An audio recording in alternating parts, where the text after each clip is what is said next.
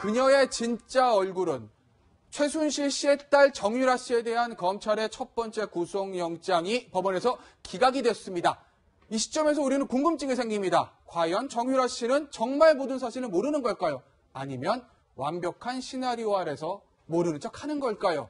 정유라 씨의 두 얼굴을 저희가 한번 추적을 해보겠습니다. 먼저 저희가 준비한 영상 보시고 오겠습니다. 친한 것 같지가 않아요. 같이 다니는 걸 많이 느꼈어요. 대화를 많이 안 해요. 또 잔소리식으로 얘기 많이 하시죠. 단순히 뭐 어떤 게 있습니까? 도차린 것도 시작해서 뭐 이것저것 딸은 자기가 보기엔 알고하고 문제이기 때문에 또 부딪힌 게 많았어요.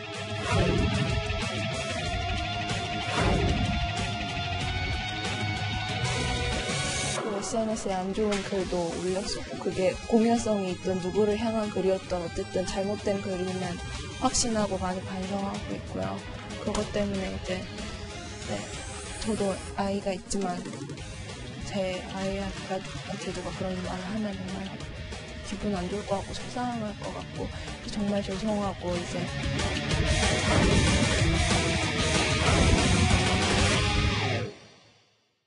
네. 어린 척, 모르는 척. 아니면 진짜 어리고 모르는 걸까요? 저희는 그 답을 알지 못합니다. 여러분들도 함께 판단해 주시죠. 그런데요, 정유라 씨, 지난 금요일에 온 국민의 관심 속에 귀국을 했습니다. 그리고 바로 검찰 측의 조사를 받기 위해서, 그리고 영장 청구 실질 심사를 받았는데, 결과는 어제 새벽 나왔죠. 기각이 됐습니다. 그래서 앞으로는요, 출퇴근으로 조사를 받게 된 것이죠. 구치소에 수감이 되지 않고, 검찰이 이 부분에 대해서 추가적인 어떤 증거를 확보하거나 혐의를 추가해서 영장을 재청구할 것인가? 왜냐하면 정유라라는 인물, 아까 저희도 말씀드렸듯이 엄마 최순실의 머리 꼭대기에 있는 인물이다. 그리고 국정농단의 핵심 주역 중에 한 명이다라는 평가를 받고 있잖아요. 그래서 영장 재청구가 과연 가능할지 또 할지 이 부분이 좀 궁금합니다. 아, 일단은 영장이 기각이 됐는데요. 막 아마 기각된 거는 업무방해죄라든지 공무방해죄 자체가 공무집행 방해 자체가 혐의 높지 않고요. 네. 본인이 주범격이기보다는 아마 좀 종범격이기 때문에 막 네. 법원에서 판단한 것으로 보이고 다만 청구를 하려면 다른 것들을 좀 소명을 해야 되지 않을까. 다른 네. 것들이요? 주류를 따지지만 수사한 입장에서는 심리적 부담인 거거든요. 네. 내가 네. 구속돼 있으니까 풀어놔야 된다, 풀려놔야 된다. 장시호 같은 경우도 실제 6월 7일날 지금 나오게 돼 있습니다. 예. 네. 막 그런 어떤 압박, 심리적 압박을 이용해서 진술들을 얻어내는 거고 정유라한테 의미 있는 진술은 삼성 부분 진술이거든요. 그렇죠. 검찰도 그걸 생각하고 있는 건데 그렇기 때문에 구속이 필요하긴 한데 그렇다고 하더라도 어, 설프게 아니면 어, 소명 못하고 입증 못한 상태에 재청구는 어렵지 않을까 생각이 좀 듭니다. 자, 화면 속의 정유라 씨가 영장이 기각된 다음에 어떤 반응을 내놨는지 함께 잠시 들어보시죠. 구속영장 기각되는데 어떤 기분이세요? 뭐 당연한 결과라 생각하세요? 아니요 그러진 않고요. 죄송합니다. 자리 재청구하면 또 어떻게 하실 계획이신지 그럼 다시 또 제 억울한 거 다시 설명. 자, 어느 어떤 뭐 보도를 보니까 검찰에서 굉장히 당혹스러워한다 이런 얘기를 좀 썼던데 이현종 논설위원 보시기는 어떠세요? 검찰에서 지금 정말 당혹스러워하고 있을까요? 아니면 아유 뭐 기각될 줄 알았어 이러고 있을까요? 일단 지금 검찰이 영장 청구를 한 게 일단은 지금 그 부담, 저 업무상 이제 예를 들어서 업무 방해라든지 일회 입시 비리와 관련된 것만 가지고 일단 했습니다. 그 왜 그러냐 하면 나머지 예를 들어서 외압 반출이라든지 이런 것에 대해서는 나중에 이제 추후 조사를 하겠다 해서 일단 그것만 해도 충분히 아마 검찰 입장에서는 영장이 예, 어떤 발부될 것이다 이렇게 판단한 것 같아요. 네. 근데 문제는 이제 다른 혐의들 빼고 그것만 가지고 일단 급하게 했단 말이죠. 네. 그리고 영장 집행 같은 경우도 이제 비행기 안에서 했지 않습니까? 그러니까 조사 기간이 그만큼 줄어들었던 것이죠. 예. 예. 그러니까 그만큼 어떤 면에서 보면 검찰은 당연히 거기서도 예를 들어서 어, 덴마크에서도 구금돼 네. 있었기 때문에 도주 우려라는 그 혐의가 분명하고 예. 그런 상황에서는 아마 법원이 당연히 내줄 것이다 이렇게 판단한 것 같은데 문제는 이게 이제 기각이 돼버린 거예요. 네. 그런 걸 볼 때는 아마 검찰에서 좀 자, 저 작전을 좀 잘못 짠 게 아닌가. 왜냐하면 네. 이 사실 어떤 면에서 보면 부녀를 이제 모녀를 같이 구속한다는 거는 상당히 부담감이 있지 않습니까? 그렇죠. 네. 그러니까 그런 것들이 아마 판사가 많이 판단한 것 같고 네. 그러면서 아주 어떤 도주 우려 자체가 일단 한국에 왔기 때문에 네. 없다고 좀 판단한 것 같아요. 그렇기 때문에 아마 검찰에서 좀 더 다른 혐의들도 추가를 했어야지 됐는데 예. 그렇게 못해서 아마 저는 기각된 것 같은데 아쉽다. 네. 점에서 본다면 아마 검찰은 아마 재청구할 가능성이 저는 높다 봅니다. 그러니까 저는 그 노승일 부장이 얘기한 거 있지 않습니까? 최순실 머리 꼭대기에 있는 사람이 바로 정유라다. 아, 네. 아. 이 지점에 대해서 검찰이 뭔가 증거를 찾아냈다라면 구속영장이 발부가 됐을 가능성이 높은데 아, 머리 꼭대기. 그러니까 정황은 있지만 정황은 그것을 입증할 만한 지금 물증 확실한 물증을 좀 찾지 못했기 때문에 네. 이 법원에서 지금 구속영장을 기각한 게 아닌가 싶고요. 네. 검찰 입장에서는 어떻게 보면 이제 수사가 미진했다라는 것이 좀 드러났기 때문에 미진했다. 아마 이게 재수사를 통해서 이 재청구를 할 가능성이 좀 높지 않을까 이렇게 전망을 해봅니다. 오늘의 본격적인 얘기를 한번 나눠보겠습니다. 두 얼굴의 정유라. 정유라 진짜 얼굴은 무엇일까? 가운데 저희가 정유라 씨 사진을 놓고 양쪽으로 화면을 나눠서 검은색, 흰색 넣었는데 이게 무슨 의미냐면요. 왼쪽 저는 아무것도 몰라요. 엄마가 시켰어요. 단복도 엄마가 입고 가라고 하고 전공도 몰라요. 라고 얘기를 하는데 정말 정유라 씨는 아무것도 모르는 사람인지 그게 하나 아니면 반대 모든 걸 다 알고 변호사의 조력을 봐서 완벽한 시나리오를 머릿속에 넣고 온 것인지인데 여기 한번 보실까요? 그게 공연성이 있든 누구를 향한 글이었든 이게 무슨 얘기냐면요. 영장 기각되고 미승빌딩 앞에서 기자들 만데 이런 얘기합니다. 아우 제가 SNS에 글 올린 건 잘못한 건데 그게 공연성이 있는 글이든 누구를 향한 글이든 명예훼손은 잘못한 거죠 얘기를 합니다. 공연성이라는 말. 일반인이 쓰는 얘기 아닙니다.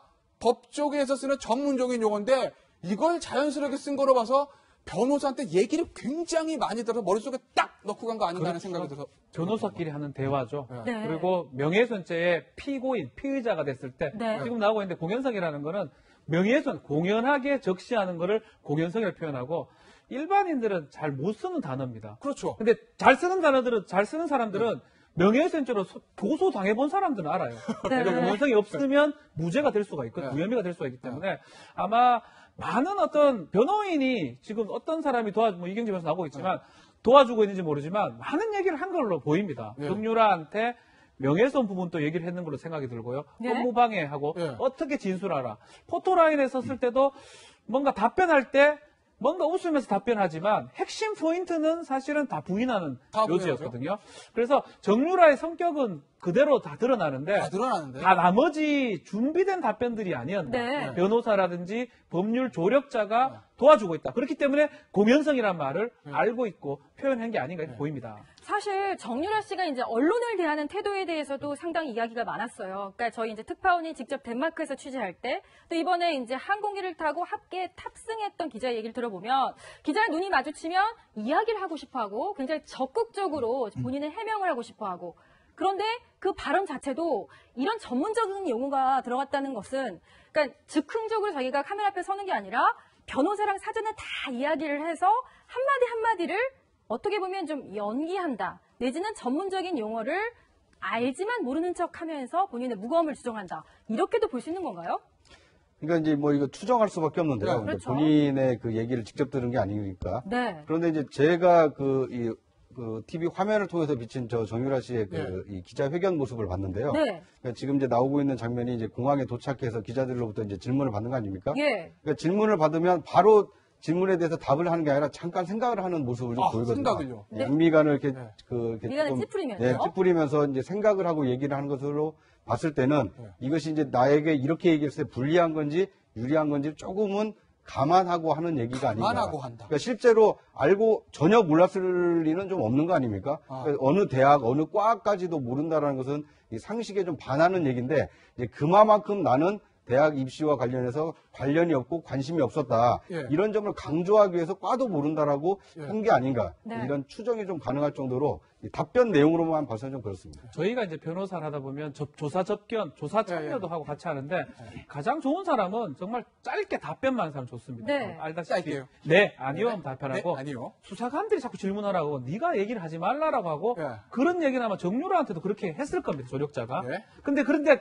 하나는 맞아 떨어진 것 같아요. 정유라가 필요한 질문에 대한 답변은 잘하는데 예. 본인의 본성이나 성격은 못 속이는 것 같아요. 어이구. 그러니까 기자회견할 때 변호사 가장 원하는 건 뭐냐 포토라인 쓰면 네. 고개 숙이고 죄송합니다 하고 들어가는 게 들어가 버리는 게 변호사 입장에서는 네. 가장 편한 사람인데 네. 굳이 저 다 얘기하면서 아. 그러니까 중요 부분 답변은 준비가 됐지만 네. 나머지 네. 본인의 어떤 본성이라든지 카메라를 보는 모습, 미간을 찌푸리는 모습, 반복 얘기한 거 네. 이런 걸 봤을 때는 본인의 성격 자체는 죽이 속일 수가 없다. 네. 그래서 검찰에 갔을 때도 똑같을 거예요. 출퇴근 조사를 받든지 뭐 네. 나중에 구속이 되든 안 되든지 간에 본인의 성격 자체가 톡톡 튀기도 하고 내가 해야 될 말은 꼭 해야 될 성격 꼭 같으니까 해야 될 성격. 변호사, 변호인 입장에서는 그런 부분이 좀 답답하지 않을까 생각 좀 듭니다. 네. 이현종 의원님 네. 이거 하나 여쭤볼게요. 결국 그러면 모든 것을 최순실, 저 정유라 씨가 알았냐, 아니면 엄마가 시킨 대로 나 아무것도 몰라요라는 건 최순실 씨하고 정유라 씨가 모녀 관계에서 유추해 볼 수도 있지 않겠습니까? 네. 그런데 노승일 전 부장은 정유라 씨는 최순실 머리 꼭대기에 있다 이렇게 얘기를 했고요. 아까 영상에서 보셨지만 데이비드 의원은 아유 두 사람 안 친해 별로 아무것도 몰라 이렇게 얘기를 했는데 그러면 이현종 위원 보시기엔 최순실 씨하고 정유라 씨의 모녀 관계 어떻다고 보세요? 이게 좀 두 사람 이 정유라 씨가 모든 걸 알고 있냐 아니면 거짓말을 하냐는 판단할 수 있는 근거가 될 수 있지 않을까요? 일단 이제 정윤회 씨와 최, 어, 이 최순실 사이에 보면 아기가 이제 가- 잘 가지지 않아서 사실 이제 시험관 아기를 통해서 정유라 씨를 낳은 거 아니겠습니까? 네. 그 이후에 보면 최순실 정말 정유라한테 끔찍하게 했어요. 끔찍하게 당시에 보면 뭐 정유라를 돌보는 사람이 다섯 명이 예. 있을 정도로 모든 본인이 어떤 것들을 정유라한테 투자를 했습니다. 근데 그러다 보니까 정유라가 이제 어떤 면에서 보면 정말 공주같이 컸죠. 네. 그런 상황에서 본인이 어떤 마음대로 이제 하는데 그 주변의 증언들을 보면 실제로 보면 정유라가 어떤 이야기를 하면 최순실이 도저히 당해내지 못한다는 거거든요. 그러니까 최순실이 박 전 대통령은 움직이고 박 전 대통령한테 이렇게 하라 저렇게 하라 이야기할 수 있지만 예. 정유라에게는 그게 안 통했던 것 같아요. 근데 문제 는 정유라가 그렇게 성장을 했지 않습니까? 예. 본인도 예를 들어서 눈 있고 귀가 있다라면 그 성장하면서 엄마의 힘 당연히 알았을 거 아니에요. 예. 그걸 누리는 힘도 알았을 거고 또 이제 나중에 재산을 갖다가 포기하라고 했을 때 포기하라고. 신주평 씨와 관계 때문에 이제 재산을 갖다가 뭐 포기해라 막 했을 때도 본인이 그냥 나가버리겠다. 예. 그래서 신림동에다가 집도 마련해서 그때 살기도 하고 이랬지 않습니까? 그러니까 그만큼 어떤 면에서 보면 당돌하고 자기 주관이 뚜렷한 여성이라고 저는 그렇게 예. 보여지거든요. 네. 그렇기 때문에 단지 모든 것은 엄마가 했다. 모든 게 엄마 시킨 대로 했다. 그런 성격하고는 아닌 것 같아요. 난- 그런 보면 굉장히 자기 중심적이고 자기 주도적인 자기 그런 주도적인. 사람을 살았다라면 그러게요. 분명히 삼성과의 관계는 이것도 분명히 알고 있었단 알고 말이죠. 있었을 것이다. 그러면서 아 어떻게 지원되는가 충분히 알고 있고 이대와의 관계도 보면 본인은 아무것도 몰랐다고 하지만 실제로 교수들하고 직접 만나기도 하고 리포트도 제출하기도 다 했지 않습니까? 예. 예. 다 알았다는 게 나오잖아요. 그런데 뻔뻔하게 거기 저 기자회견은 저는 무슨 관지도 몰랐어요라고 이야기하잖아요. 예. 그런 걸로 보면 지금 어떤 화면 속에 비친 정유라의 모습과 실제 정유라의 모습은 저는 상당히 다를 차이가 것이다. 있다. 그렇게 보, 예. 보여집니다. 그래서 저희가 다음 걸 준비해봤습니다. 나는 다니는 과도 모를 정도의 아무것도 모르는 애엄마입니다라는 게 정유라 씨 얘기인데 정말 정유라 씨가 아무것도 모를 정도의 그런 사람인지 아니면 모든 거를 잘 알고 있는 굉장히 똑똑한 사람인지 한번 보겠습니다. 진짜 얼굴. 이화여대 리포트. 이거 오랜만에 보시죠? 예전에 보도가 된 건데, 된 건데, 일단, 맞춤법은 원문에 따랐습니다. 맞춤법 틀리는 거 있는데요. 이게 정유라 씨가 원래 이렇게 쓴 거라서 저희가 이렇게 표현한다는 거를. 마음속에 메트로놈 하나 놓고 달그닥 훅 하면 이거 뭐냐면요. 리포트 내용이 말 교육시킬 때 어떻게 교육시키면 되느냐 그 리포트입니다. 마음속에 하나 놓고 메트로 하나 놓고 달그락 훅 하면 된다. 해도 해도 안 되는 망할 XX들에게는 쓰는 수법. 웬만하면 비추함. 이거 제가 봤을 때 초등학생들도 안 쓰는 표현인데 대학생 리포트 이렇게 썼습니다. 이걸로 보면 정유라 씨 진짜 리포트 하나 제대로 못 쓸 정도의 그런 사람이기 때문에 저 많은 것들을 완벽하게 잘 알고 파악하고 검찰에서 완벽한 거짓말을 할 수 없을 사람으로 보이는데 그런데 박근혜 넘기겠습니다. 저는 이런 노래 가사가 생각이 났습니다. 내 안에 내가 너무도 많아. 아, 그런 사람인데요. 박원호 전 승마협회 전무, 그러니까 가까이 지근거리에서 정유라 씨를 지켜봤던 지인이었죠. 이런 얘기 했습니다. 과거에. 정유라, 보통 아니니 수사 때 주의해야 된다. 그런데 말입니다. 1월 3일 덴마크 현지 인터뷰를 자청해서 본인이 이런 얘기를 해요. 이론 한장 없이 한국에서 그 대출을 다 갚았어요. 조세 포탈이라는 부분도 독일에서도 세무서에서 세금 다 냈어요. 글쎄요. 본인의 목소리 한번 들어보시고 이야기 한번 이어- 이어가 볼까요? 그 네, 부분에 근데 대해서 그거는 제가 확실하게 설명드릴 수가 있는 게 제가 아버지랑 어머니가 이혼하시면서 강원도 땅을 저가 인수를 받았어요. 총 두 차례에 걸쳐서 36만 유로를 대출을 받았어요. 1원 한 장 저희 돈 안 쓰고 그 대출만으로 이 집을 샀어요. 한국에서 이 대출을 다 갚았어요. 막 조세 포탈 그런 거 있잖아요. 그런 것도 저희가 독일에서도 저희가 세무사를 쓰면서 세금을 다 냈어요. 대출, 조세 포탈 다 갚았다. 굉장히 논리정연하게 본인의 어떤 본인에게 쏟아지는 의혹을 이렇게 소명하고 있습니다. 이걸 보면 이런 수준의 리포트를 낼 만한 것이 아니라 훨씬 더 똑똑하고 용의주도 하는 느낌도 사실은 들어요. 글쎄요, 지적 수준이라는 걸 뭐 얘기, 얘기하기가 좀 그렇지만 리포터를 썼는 거 봤을 때는 초중학 중학교 정도의 수준 같은데 네. 지금 대- 인터뷰하는 모습은 아주 작은 그렇죠. 얘기라든지 정확하게 답변을 하는 모습이거든요. 예. 이렇게 보는 게 맞는 것 같아요. 진짜 저 정유라 몸 안에 여러 가지 어떤 뭐 모습들이 있지만 네. 맞춤법 이런 거하고 범죄라든지 이런 것들을 구조적으로 생각하는 건 좀 다른 부분이 있거든요. 그러니까 뭐 좀 범죄를 저질렀다는 그 뜻이 아니고 어떤 구조적으로 접근하는 측면에서는 머리라든지 상당히 뛰어난 게 아닌가. 그리고 어 이것도 변호사가 암만 그 준비를 해준다 하더라도 예. 엉뚱한 답이 나올 수가 있는데 저 인터뷰한 과정에서는 사실은 다 다 정답같이 얘기를 했습니다. 아마 어. 변호사라든지 조력자가 원하는 답을 해버렸거든요. 네. 그렇기 때문에 어느 정도 지적 수준은 상당히 된다고 봐- 보는 게 맞는 것 같고요. 그 다만 이제 본인 성격들이 있는 거고 그 성격은 뭐냐면 럭비공 같이 막 툭툭툭 튀는 부분입니다. 네. 그래서 웃는 모습들 저는 쉽지 않은 모습인데 저 모습들을 검찰이나 수사관들이 포착을 하고 잡고 물고 늘어져야만이 정유라를 무너뜨릴 수 있다. 네. 이렇게 생각이 네. 듭니다. 아니 저는 사실 제가 변호사로서 이번 국정농단 관련된 피고인 중에서 가장 만나보고 싶은 사람은 바로 정유라 씨입니다.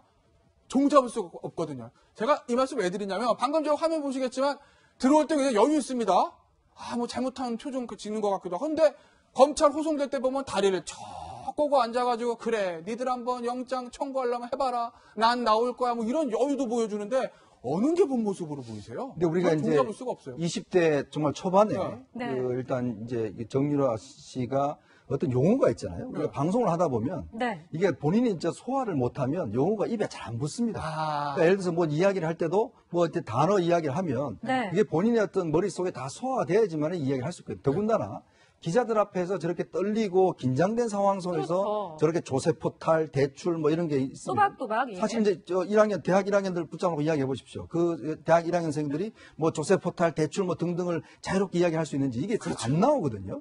근데 지금 정유라 씨 같은 경우는 어떤 면에서 보면 학교 네. 다닐 때 거의 승마를 주로 했어요. 네. 어떤 뭐, 뭐 다른 어떤 수업은 받질 않았습니다. 그렇죠. 학교 성적도 보면 거의 뭐 이제 하위권이었거든요. 이제 그런데 저렇게 딱 어떤 경제적인 문제가 나왔을 때 이야기를 하는 거 보면 굉장히 입에 다 붙어 있어요. 예. 그건 뭐냐 하면 제가 볼 때는 아마 최순실 씨와의 어떤 그런 상황이 보면서 충분히 두 사람이서 어떤 이런 관계들 이야기를 했을 것이다. 네. 왜냐하면 재산이 꽤 많지 않습니까? 이제 그러다 보니까 정유라 씨는 실제 그 현실적인 감각 이런 건 충분히 있다는 거거든요. 네. 아. 그리고 지금 보면 굉장히 어떤 담담한 모습이에요. 담담? 우리가 보면 장시호 씨를 보면서 그런 모습을 봤잖아요. 네. 굉장히 긴장하지도 않고 그러게요. 청문회 나와서도 비슷하네요, 두 사람. 그냥 청문 위원들을 그냥 갖고 뭐놀 정도로 사실은 본인이 주도해서 나가는 것 같잖아요. 이제 그런 걸 보면 실제 어떤 그 성격도 있겠지만 실제로 그 움직임 속에서 최순 씨가 항상 했던 것들 누구하고 돈을 주고받고 예. 재산을 투자하고 이런 것들을 옆에서 직접 지켜보면서 본인도 상당히 체화된 게 아닌가. 네. 그런 것들 보면 아마 본인이 이런 상황들을 충분히 인식하고 있으면서 뭔가 본인이 좀 조절하는 듯한 조절하는 그런? 느낌들을 굉장히 많이 봤습니다. 네. 어쨌거나 정유라 씨 이제 국정농단 특히 이대 학사 비리나 입시 비리의 이제 핵심인데 사실 아이러니하지 않습니까? 그 원인이라고 지목이 되어 온 정유라 씨는 일단은 자유의 몸이고 거기에 관여했던 이대 전 총장이라던가 다섯 명의 또 교수들은 지금 현재 구속이 된 상태고 그래서 이것을 좀 국민들이 볼 때는 갸우뚱하는 부분이 좀 없지 않아 있는데 이제 향후 향, 행보에 대해서 저희가 짚어보지 않을 수가 없을 것 같아요. 그런 측면에서. 자, 본인은요, 내가 덴마크에 남아있었던 이유는 아들 때문이었다고 했는데, 입장이 바뀌었습니다. 아들 때문에, 아들 여러 가지 문제 때문에 입국을 결정을 했는데, 그렇다면 아들 언제 입국할지, 또 어디서 키울지, 본인은 이제 곧 들어올 거라고 했단 말이죠, 보모랑. 이 부분 어떻게 보십니까? 아, 아마 이제 귀국을 아마 지시한 걸로 지금 알려져 있고요. 네. 만약에 구속이 됐었으면 귀국을 안 시킬 것인데 네. 구속이 안 됐기 때문에 뭐 재산도 꽤 있고요. 미승 빌딩도 있고 지금 당장은 있기 때문에 아마 아이는 곧 들어올 거라고 생각이 듭니다. 예. 근데 이제 최순실 면회 부분이 좀 애매하긴 한데 남부구치소에 있습니다. 면회가 최순실이 이제 매일 재판에 출정하다 보니까 면회 시간을 잡는다면 토요일 날 가족 접견 면회가 가능합니다. 토요일이니까 어제는 지났으니까요. 다음 주 토요일 정도가 좀 예상될 수가 다음 있고요. 토요일이요? 보기는 보러 가겠죠. 엄마 보고 그렇죠. 싶으니까 그냥 뭐 어떤 그 접견 장소에서 어떤 얘기를 못하면 녹음되니까 아, 얘기하기는 어렵다고 보면 결국은 얼굴 보러 남부구치소에 갈 가능성은 있다 이렇게 생각이 좀 듭니다. 자, 그래서 아들 문제 그리고 엄마 문제에 대해서 정유라 씨는 어떤 얘기를 하고 있는지 그 얘기 먼저 한번 들어보겠습니다. 혹시 데려온다면 언제쯤 데려오시나요? 네, 최대한 빨리 예정입니다. 지금 나온 계획이 있나요? 아니요, 아직 계획은 나오진 않았습니다. 제가 이제 연결을 해봐야지. 어떤 면담 관련해서는 뭐 얘기 나온 게 있나요? 어머니 면담 관련. 네, 아직 없습니다. 어머니 면회하실 계획이 있으세요? 네, 있습니다. 언제쯤 하실 예정이에요? 제가 검사님한테 여쭤보고 해야 되고 어머니 안 보고 싶으세요? 보고 싶죠, 당연히. 어머니 최순실에 대한 면회 문제하고 아들의 양육 문제는 저희가 후속 얘기가 들어오는 대로 계속 말씀을 드릴 거고요. 다음 엄마 대신 증거인멸 재산 관리. 자 일단 한국에서 지금 정유라 씨는 아 최순실 씨는 아, 남편이었던 정유라 씨가 이혼을 했고요. 유일한 혈육인 정유라 씨 혼자 남았는데 그러면 정유라 씨가 한국에서 자유롭게 활동하면서 증거를 인멸하고 어머니의 재산, 뭐 일각에서는 독일에 숨겨진 재산이 있다라는 뭐 주장하는 분들도 계신데 그런 것들을 전부 다 관리하는 것 아니냐. 그렇기 때문에 꼭 구속을 해야 된다라는 게 검찰의 지금 입장으로 보입니다. 구정 차장. 네. 그런데 이제 저 증거 인멸 부분은 본인이 진술을 하지 않는 것이 어떻게 보면 가장 그 어머니를 돕는 거기 때문에 네. 구체적인 진술을 안 하는 것으로 할 가능성이 높고요. 실제로 있는 자료를 뭐 폐기한다거나 이제 그러기에는 네. 사실 이제 현실적으로 좀 어려운 게 아닌가. 어려운 게 왜냐하면 아닌가. 지금까지 검찰도 수사를 했고 네. 특검까지 수사를 한 마당에 이제 와서 뭐 증거인멸에 정유라 씨가 나선다라고 보기는 좀 어려운 측면이 있어 보이고요. 예. 다만 이제 어떻게 보면 이제 한 집안으로 보면 그 가장 역할을 했던 어머니가 지금 구속 상태에 있기 때문에 그런 집안일을 이제 거두는 일은 정유라 씨가 좀그할수 있지 않을까.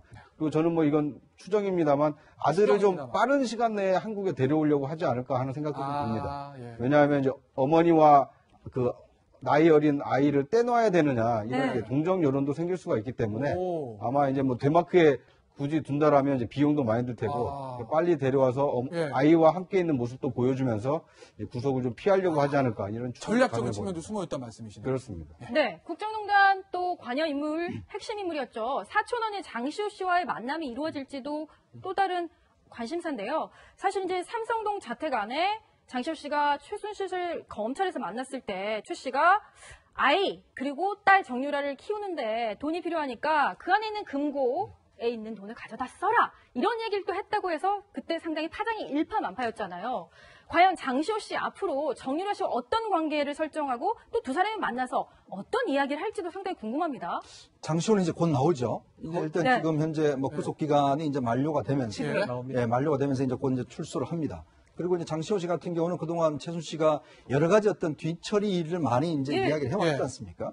어떤 면에서 보면 장시호 씨가 이제 그 특검에서 상당히 특검 도우미로 활동을 하긴 했지만 결국은 손은 안으로 굽는 거 아니겠어요? 네. 예. 결국 이제 지금 보면 물론 이제 석방은 했지만 사실 이제 그 정유라 같은 경우도 사실 장시호 씨의 갔던 길을 따라갔잖아요. 네. 그러니까 그 어떤 저 스포츠 승마를 해서 대학 네. 갔듯이 그거 그대로 따라갔고 사실 어릴 때 보면 어, 장시호가 정유라를 거의 뭐 같이 그 케어를 하다시피 그렇죠. 해왔으니까 그런 것 같아요. 어떤 면에서 보면 이제 최순 씨는 안에 있겠지만 예. 저는 저- 장시호 씨가 밖에 나온다 하더라도 물론 그 가족 일단 있지 않습니까? 그리고 그 예. 재산 자체가 예. 이게 지금 정리가 되기 아마 쉽지는 않을 것 같습니다. 이게 아, 재산 재산이 한두 푼이. 아니지 않습니까? 예. 지금 뭐냐 장시호 씨만 해도 그 집안 재산이 거의 천억 대에 가깝다고 얘기하잖아요. 그리고 보면 지금 그 어, 아버 어머님이 지금 굉장히 또 많이 아프시다고 하고 예. 그러면서 본다면 장시호 씨도 나오게 되면 이제 좀 자유 몸이 되는 거니까 아마 그 그렇죠. 집안 전체를 좀 돌봐야 되는 그런 가능성도 네. 있고 저는 그렇기 때문에 아마 정유라 씨하고도 충분히 만날지 않을까 아. 그리고 어떤 자신들을 가지고 왜냐하면 정유라도 지금 어지할 사람이 없습니다 아마 아버지를 만나기는 굉장히 좀 힘들 거예요 그렇죠. 아, 그렇다고 한다면 친했었고. 그렇죠 장시호한테 여러 가지 자문을 많이 구하지 않을까라는 네. 그런 생각도 좀 해봅니다 정유라 씨에 대한 관심 마지막입니다. 아버지 정유라 만날까? 방금 전에 이현종 의원도 잠시 언급하셨습니다만 정유라 씨하고 최순실 사이가 뭐 그렇게 썩 좋지 않은 것으로 알려져 있는데 과연 아버지와 재회를 하고 향후 휴일을 도모할까라는 관, 어떤 관심사가 쏠리고 있는데 거기에 대해서 정유라 씨는 예전에 채널A와의 단독 인터뷰에서 이렇게 얘기했습니다. 정말 쪽에서는 좀 부합을 나타냈지. 그 기억이 나는데 중3 때 정말 그만두고 못 나가겠다. 내가 생각 말이 많고 근데 아버지 엄마에 대한 힘들어했었는데 왕따를 많이 당했지. 부모가 잘못해갖고 애를 저렇게 만들어 놓은 거 아닌가. 너무 어린 나이에 마음 둘 데가 없으니까. 그럼에도 불구하고 네. 이 정윤혜 씨하고 정유라 씨의 만남은 조금 상상하기 어렵다. 정윤혜 아, 씨도 상상하기 어렵다. 수사를 받아야 될 수 있는 상황이기 때문에 두 사람은 만나기는 쉽지 않은 상황이고 뭐 연락은 할 수가 있지만 만남은 조금 어렵지 않을까 생각이 아, 듭니다. 예. 네, 오늘 말씀 감사드리고요. 박준 변호사님과는 여기서 인사드리겠습니다. 감사합니다.